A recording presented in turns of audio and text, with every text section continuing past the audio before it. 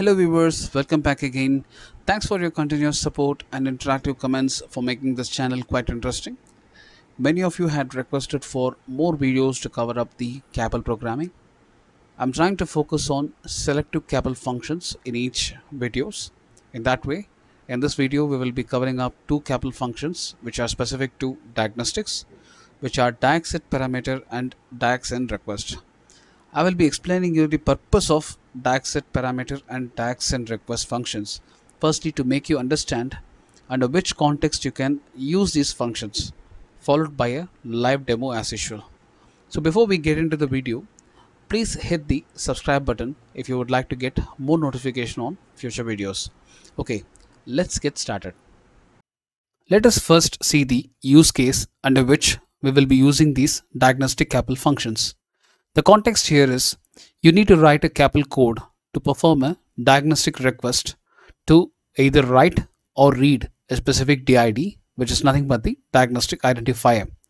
Let's assume you have a DID which is of 1518 with a data size of 1 byte and you wanted to write this DID with some values, example with the value 01 during the start of your test case.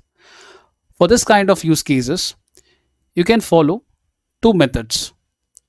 The first method is by sending the data in byte by byte in your CAPL code, which doesn't need any .cdd file, but the code length will be high and you will be having some limitations while you go for a bigger programs. The second method is by calling this diag functions through diagset parameter function calls which needs a .cdd file but the benefit is your code length will be optimal and will be best suited for bigger programs. So in this video we will be looking into the second method in detail with a live example. We will see what is diagset parameter. It's a diagnostic inbuilt CAPL function which is used to set or write a value in a subparameter of a diagnostic object. The syntax for this function is here.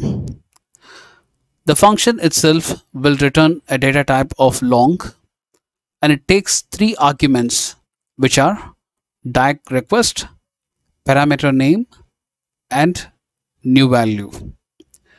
Here diag request object refers to diagnostic object instance and parameter name refers to the subparameter of the diagnostic object whose data type is a character and the new value refers to the right value in the subparameter of the diagnostic object whose data type is numerical. By defining this function, we are making your diag write request ready for your respective DID. Diag send request it's a function used to send the request object to the ECU. The syntax for this diag request is here. The return type of this diag request is of data type long and it takes only one argument which is the diag request object instance.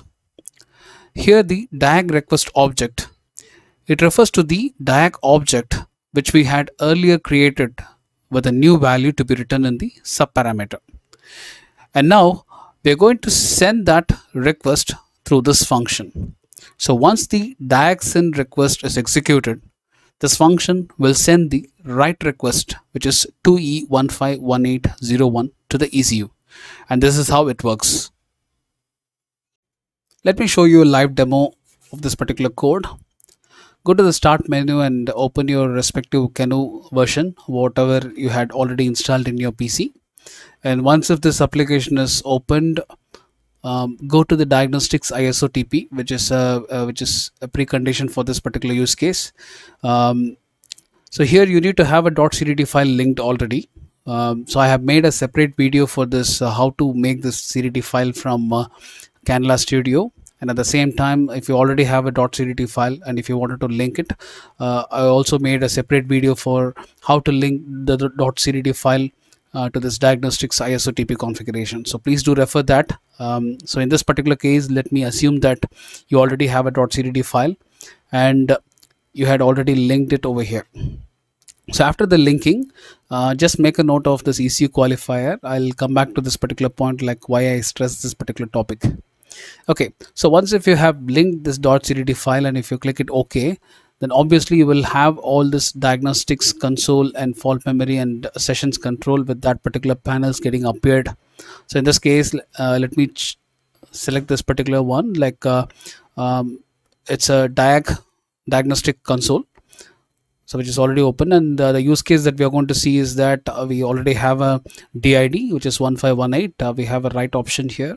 And this particular DID uh, is of uh, one byte uh, size and in this particular use case we are going to write this with some value like 01 or 00 and then we are going to check it through CAPL code instead of manually doing it over here. So this is the use case. And uh, here uh, the key functions what we are going to use is the diagset parameter uh, and then the diagsend request. So these are the two functions that we are going to use it um, specifically for this particular use case. Uh, let me go to this uh, configuration again uh, go to the test and test setup. This is where I had already linked one .can file which is an empty file. And we are going to write some code in that particular can file which is over here.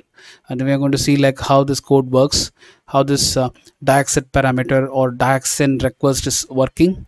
Uh, we'll see it. Okay. Let me open this um, diag console parallelly with this uh, code okay? Uh, so whenever you open the uh, empty .can file you will see these sections like includes variables and um, void main test. And this is where you use to write the functions and variables. You will declare the variables and so on. So let me start off with some basic functions. So in the main test I'm going to write the uh, function call which is uh, nothing but I'm going to give it as a diag function so this is a function name I had given. So for this particular function name I wanted to maybe either you can directly put it over here or you or even you can right click and you can add this function. Say for example i'm going to add this in the test cases like right click and then create new test case. And this is where you can write this diag function as a name. So this is the name of the test case. And uh, here uh, at first when you wanted to access so you, you're going to access this particular diag um, cdd file. For that you have a separate code for it like uh, i'm just going to write it. So zero just equal to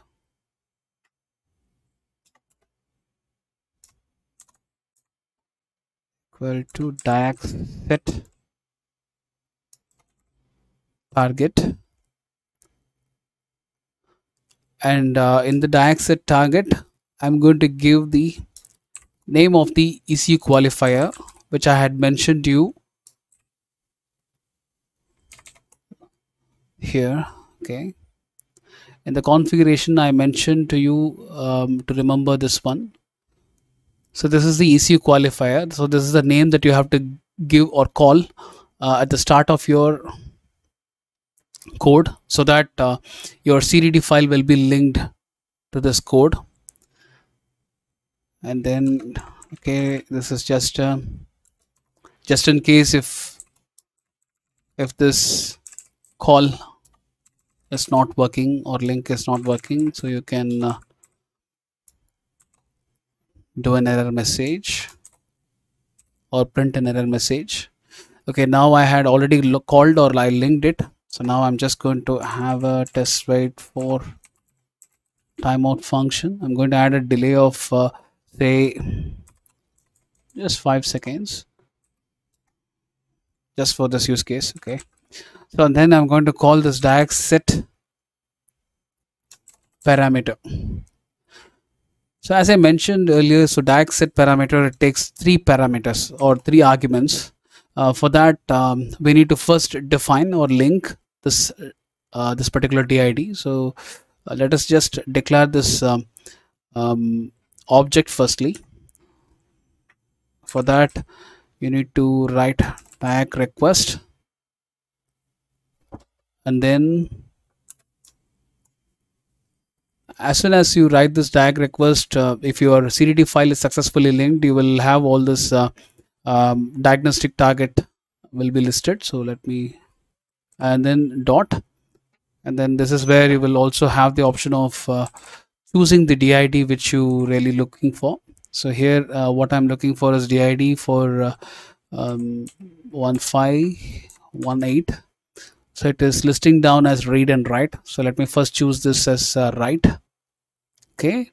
And uh, for this one I'm going to create an object called write underscore did uh, underscore 0x1518 so this is an object that I have created for the for the write did the similar way that I'm going to create the same for the read as well.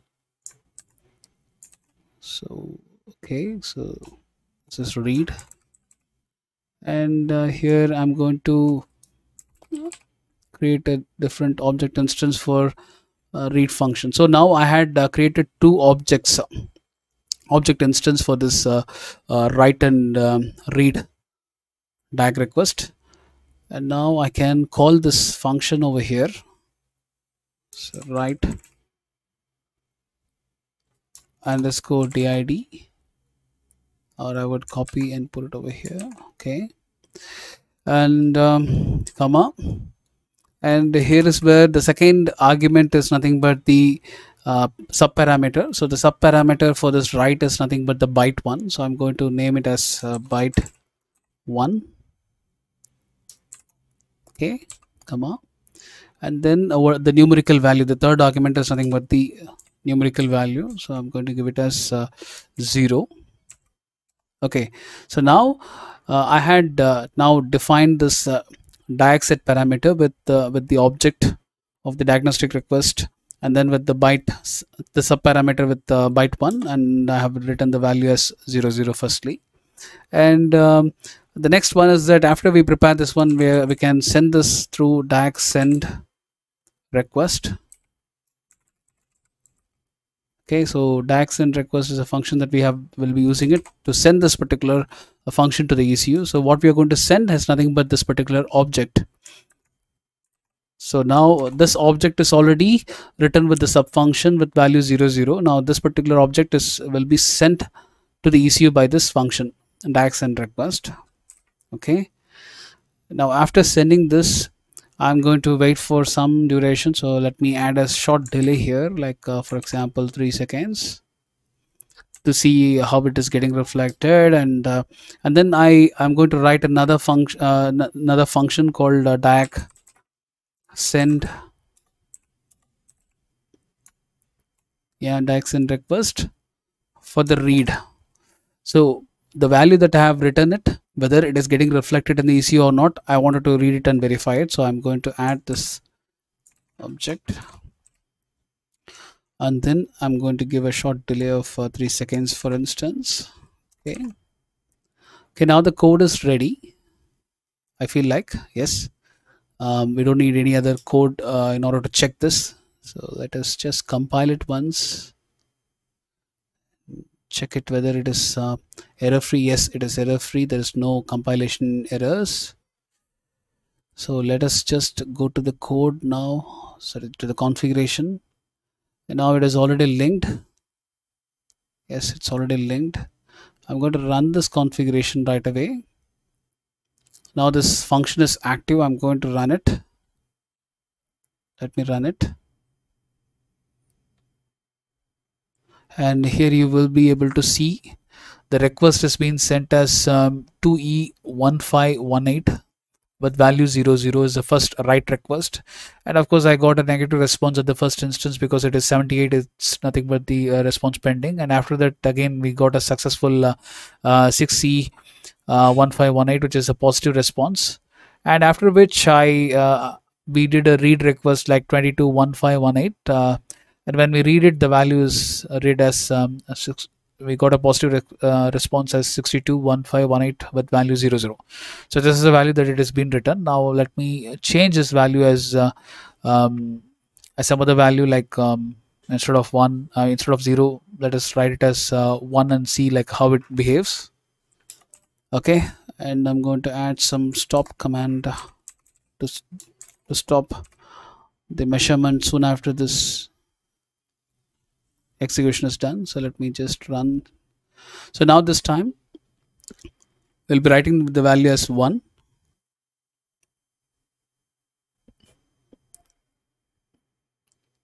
okay here you see it's like uh, 2e1518 with the value as 01 and of course we got a positive response. And when we read this um, diagnostic request or DID again, uh, like 221518, we got a positive res uh, response as 621518 uh, with the value as 01. So it means that this code is working. So all you have to do is first you have to uh, make sure that you have a proper CDD file linked and you have uh, linked that uh, EC qualifier with by calling this diag or the name, the respective EC qualifier at the start. And then um, finally, you just need to um, write the diag set parameter for your um, required DIDs. Uh, you can you can create um, those many uh, diag objects and then you can uh, write these values. Um, as you see, uh, the code is very less in order to perform these operations you don't need to go for the method one uh, unless or otherwise you, you you don't really find a way to uh, uh, have a .cdd file only then you can go for the first method the second method is quite easy that you could send this request quite soon and you can use it in your precondition or to do a configuration in your test code With that, uh, we had come to the conclusion of this video. Hope you got an insight about how to use the set parameter and uh, request functions in your CAPL programming. Uh, if you like this video, hit the thumbs up and subscribe to my channel for more videos which are about to come. Thank you and uh, see you again in another video.